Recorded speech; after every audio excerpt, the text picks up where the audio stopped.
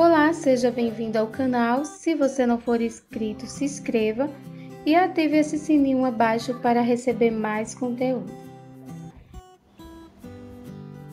Quem procura realizar um projeto de iluminação para casa vai encontrar uma variedade de modelos de lâmpadas, mas o difícil não é apenas escolher o produto, e sim saber o ambiente apropriado.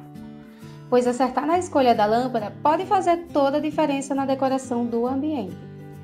Então, falar sobre a temperatura de cor K, que significa Kelvin. E a pergunta é: o que é Kelvin? Kelvin quer dizer a unidade de medida da temperatura de cor.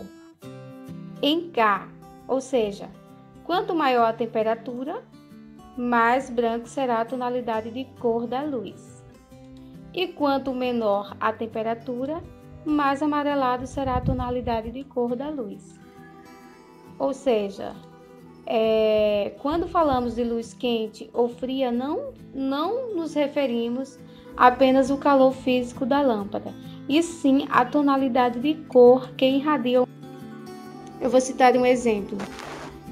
2700K até 3500K dá uma tonalidade mais quente e a lâmpada ela fica assim mais amarelada, uma tonalidade mais amarelada.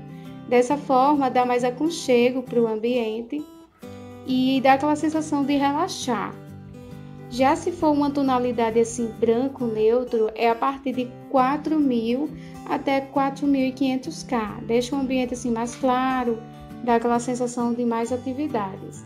Agora ultrapassou a partir de 5700 até 6500K, vai dar aquela impressão de um ambiente mais ativo, aquela sensação assim de mais atividade ainda, porque a, a luz ela vai ficar com a tonalidade mais azulada do que o tom neutro, porque existe dois tons aqui de, de luz branco, que é o, o, neutro, e o azul.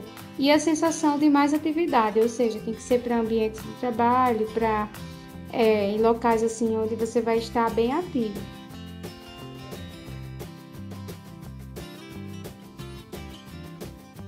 Nós selecionamos três tipos de luminárias mais usadas, que são as arandelas, os pendentes e os plafões. Pendentes são aquelas penduradas no teto, que é a mais utilizada em sala de jantar.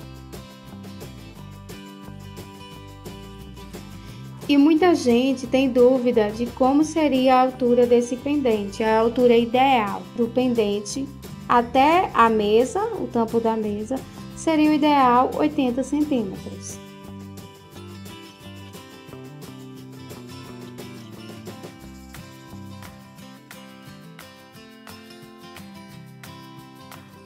Já as arandelas são tipos de iluminação indiretas.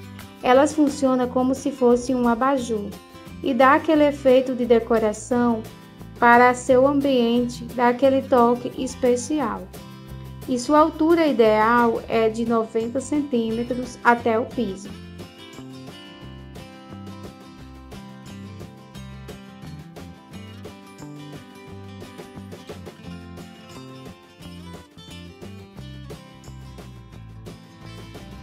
Já os plafões podem ser modelos embutidos ou de sobrepor para a iluminação geral,